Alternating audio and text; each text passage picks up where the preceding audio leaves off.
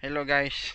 Berjumpa lagi bersama channel saya Ilham Channel BLTG Kali ini guys Kita bakalan bongkar sakan. Kita mau pindah sakan lagi guys Ke ulu Ke atas itu. Kalau tidak tahu ulu Atas tu di atas. Karena kita itu makan bekas tailingnya dari ilir Naik ke atas. Jadi Tailingnya Lubang yang kita makan bisa kita tutup lagi guys. Ah, Seperti ini guys ini kemarin itu lubang dalam guys. Tapi sudah kita tutup. Tuh rata guys. Sudah jadi daratan lagi itu. Malahan kulung pun lah akan tertutup itu.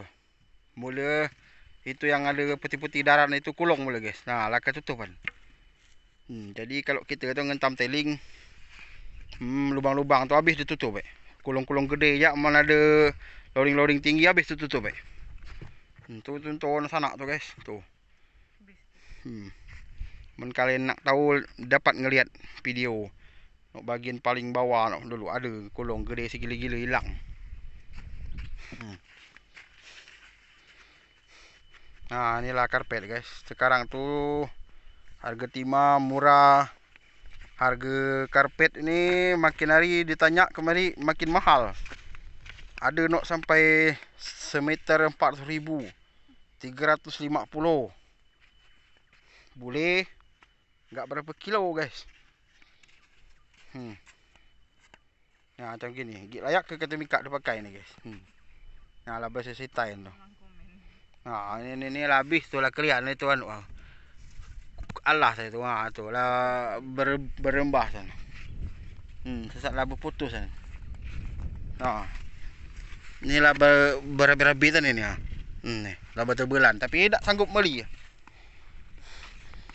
Nak beli Tak ada kidang Modal isok lah ya? Tak dapat 2 kilo 3 kilo. Nak beli karpet Tak terbeli. Tak dapat kidang Dapat sari Kata orang kata habis sari hmm. Mentima murah tu Memang pening belah lah kepala Nak berhijau Terutama nak beli perkakas Untuk kita nambang. Apalagi dia tambah mesin rusak Aduh pecah rasa kepala. Ya mun boleh mampau sampai kurang tu nak belas kilo nyaman juga nak beli jauh. Ni nak ngecari nak mampau sekarang enggak tapak ngecari lah. Sehari-hari tak kan ada gila ketemu. Letih lah ngecari nak mampau ni. Hmm. Ini harga timah murah. Pekakas-pekakas untuk kita nambang pun tak ada nak murah, tak pandai turun. Tapi mentimah naik Derah juga ada naik kan Sekali timah turun Tak nak dia turun Itulah kadang. Mendapat timah sebenarnya stabil. Satu turun satu naik. Kembali letih ngejerit tingkat-tingkat Mentimah Murah kini ni.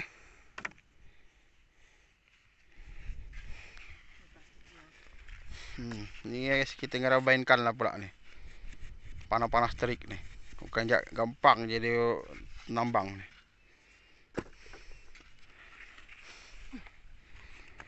Inilah jam 11 hari ni. Inilah. Hmm. Ini anak ada komen ni ngerusak alam bagi banjir lah. Di mana kan dapat banjir macam gini ngula teling. Dari mana kelihatan? Malah tertutup pula. Hmm. Kan berapa ke dalam nak teling nak ada sampai ke kiu murang muka kulong pakai alat ke lah. Ada kabar bagi Yatima nak turun pula. Sari ni. Ada nak nyebut 5000, ada nyebut 30000 turun. Tang dah hantam lagi aku akan turun-turun. Ujung-ujung cuba pun berani. 1000 ke sekilo ke tu sama ndak? Kacau kacau ni sekarang dunia tambang ni, tambang timah.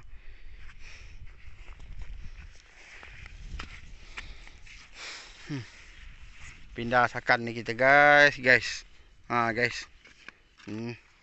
ini jaya ke kulong. Minta tolong karang bininya mak dak gitu. Dak banyak dapat kan nak ngambil kuli pun tak ada kan mayar eh memang pakai kuli segala. Dak kira ada ujung lagi Jadi yang komen-komen itu yang minta kerjaan bukan saya tidak mau mengambil kuli tapi karena harga timah ini murah tidak berani mem untuk memperkerjakan orang. Karena boleh jak sehari cuma 2 kilo 3 kilo paling mentok kan 5 kilo ia mendapat 5 kilo. Ini nak rutin tu nak pasti ya 2 kilo ke atas.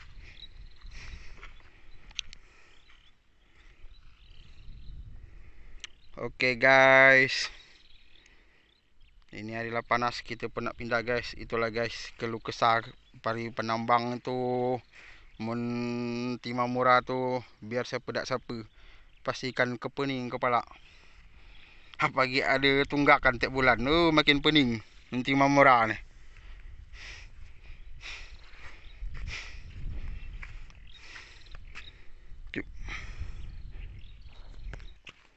Ya guys, guys ni ya.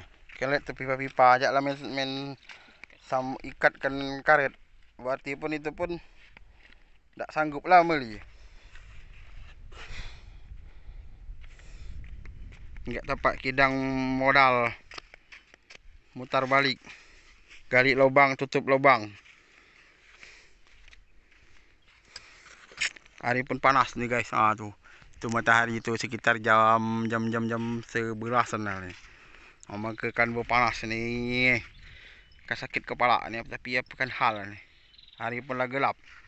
Sekali gelap hujan bercelantung bunyi guru. Inilah risiko menjadi penambang ni. Nak bergawe lain. Gawe nak apa tak ada nak sesuai.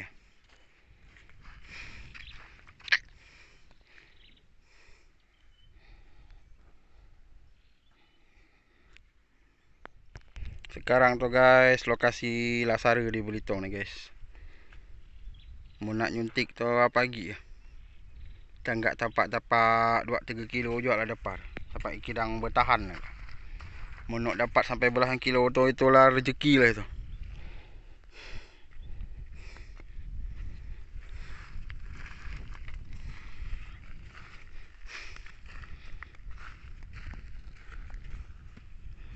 Oke okay guys.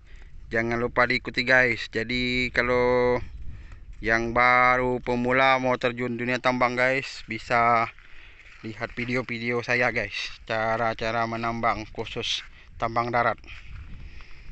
Kalau tambang di dalam air saya enggak menambang guys. Karena Lokasinya sudah susah.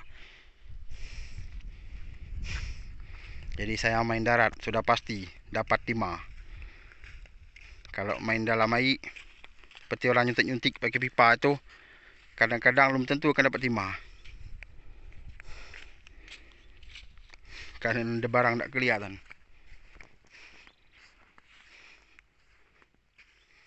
cuman dalam air tu baik kerana dia nak ngasa Okeylah guys sampai dulu di sini perjumpaan kita guys Semoga harga timah kedepannya makin membaik.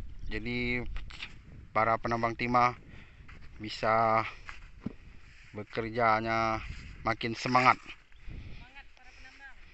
Okay guys, sampai jumpa di video berikutnya.